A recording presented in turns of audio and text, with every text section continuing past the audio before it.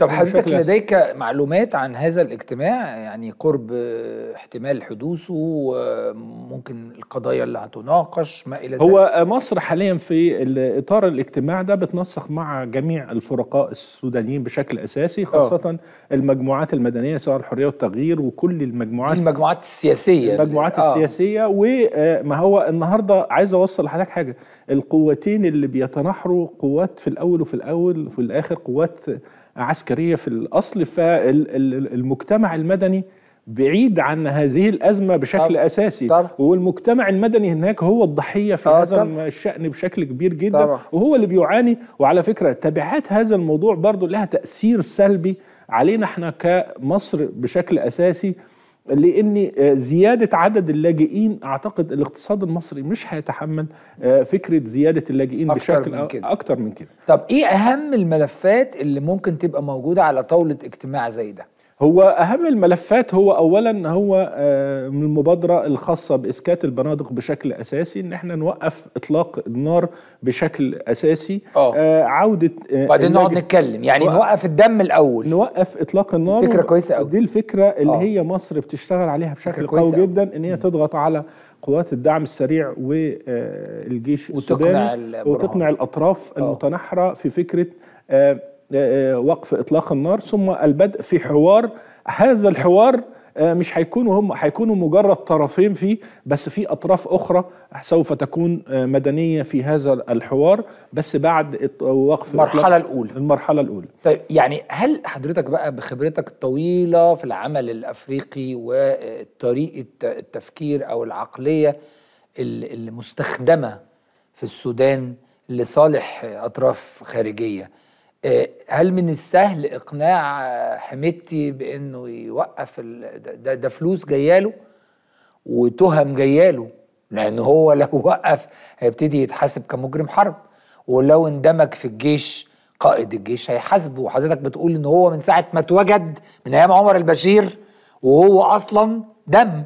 فلو هل بقى مثلا في الاحوال ديت بيعملوا بقى بيسموه إيه اللي عملوا له وزارة مخصوص ده اللي هو بعد الثورات وال- والانقلابات فبيعملوا حاجة مخصوص كده عشان إيه؟ عشان يوائموا ما بين المذاهب واللي موجودين ويقولوا بقى عفى الله عما سلف ونبتدي بقى من جديد وكده. إيه توقعك للشكل هو السوداني أنا فيما بعد؟ أتوقع إن آه، حميدتي لازم هيوافق على آه، وقف إطلاق النار في المرحلة المقبلة لعدة أسباب. آه أيوه. لأن آه، أول تحدي قدامه إن القوة اللي بتدعمه آه، مش هتفضل تدعمه طول الوقت بشكل أساسي آه، هيبقى آه، النهارده إحنا في طرف ثالث لم يتدخل في الصراع وهو الطرف الخاص بالمجتمع المدني آه. أو الشعب السوداني لم يتدخل طبعا. فالنهاردة الشعب السوداني لو تكاتف مع الجيش هيبقى في خطورة على موقف حميدتي آه. وده اللي هيحس بيه في خلال الأيام القادمة فبناء عليه أنا شايف إن الضغوط ال- اللي هي بتمارس في هذا التوقيت على وهيقول لك ما هو عمال يموت فيهم ولا انضموا ولا فتحوا لا. هو غلابة يعني. النهارده النهارده يعني أنا لاقي في صحوة بشكل كبير جدا آه. من قبل الساسة السودانيين وفي على فكرة مفكرين كبار آه. ومثقفين كبار في السودان مترقبين للموقف المصري آه. وحاطين عليه أمال كبيرة جدا لأن عارفين إن الموقف المصري هنا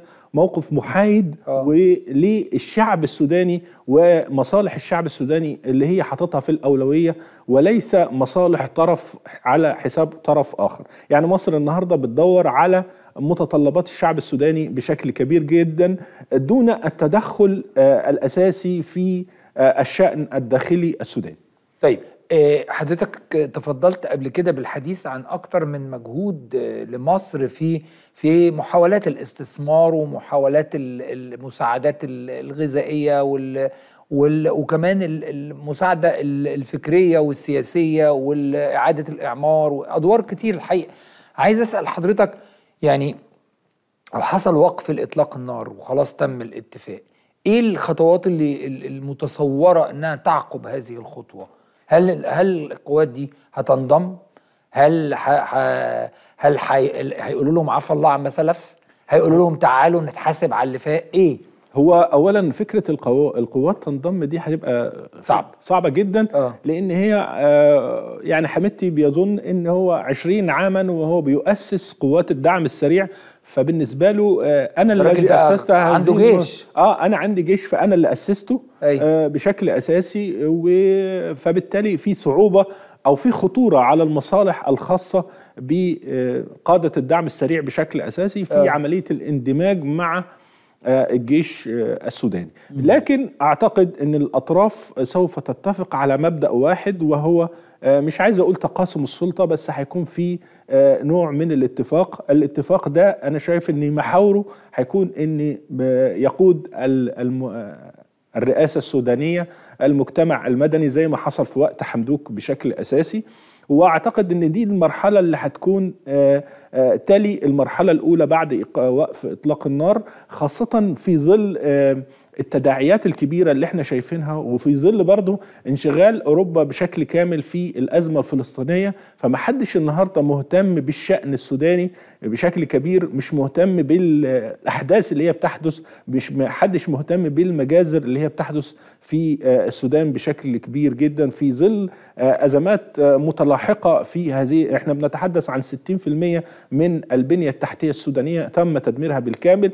إحنا بنتحدث عن اق- اقتصاد النهارده وصل إلى سالب 12 فبالتالي ال- الاقتصاد السوداني أنا شايف إن هو انهار بشكل متكامل في ظل الصراع الكبير اللي هو موجود.